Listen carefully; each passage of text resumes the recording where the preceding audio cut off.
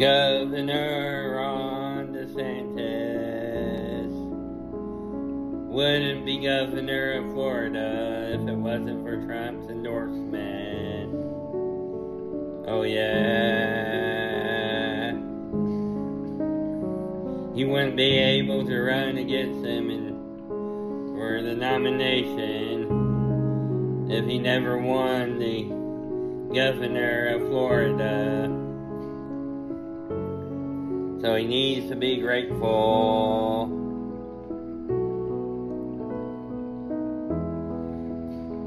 Trump gave him his endorsement to 2016. That the people of Florida voted for him. Floridians. Remember that, Governor Ron.